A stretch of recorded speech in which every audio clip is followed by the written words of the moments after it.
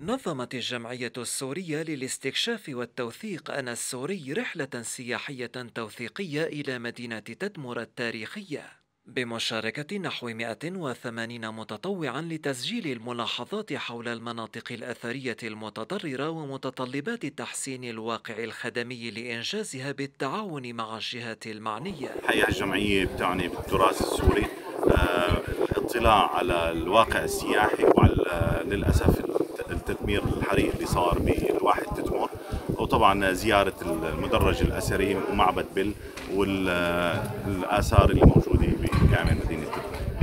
طبعا في خطط لتنشيط السياحة الداخلية. وطبعا زيارة مدينة تدمر من الأولويات اللي محطوطة على الخارطة السياحية.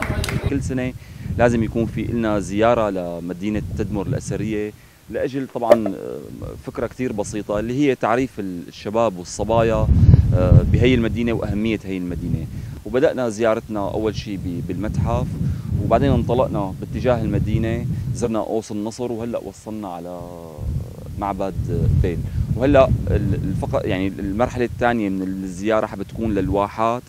واليوم أنا جيت مع مجموعة أنا سوري آه، عشان شوف تدمر. جيت هون قبل كان كثير في دمار من داعش من الإرهاب.